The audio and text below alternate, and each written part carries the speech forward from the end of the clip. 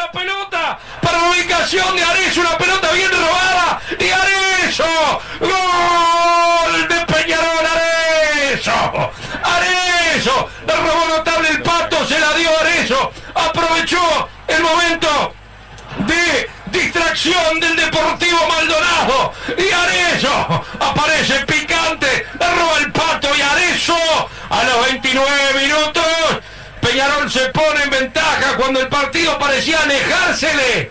Apareció Arezzo para ponerla cerquita de la red. Peñarol 1, Deportivo Maldonado 0. Arezzo con el gol. En el mejor momento de Deportivo aprovecha el momento Arezzo, la distracción, el tiro de media distancia para vencer a Danilo Lerda y poner el 1 a 0. Tiene que mejorar en lo futbolístico. Supo aprovechar el momento.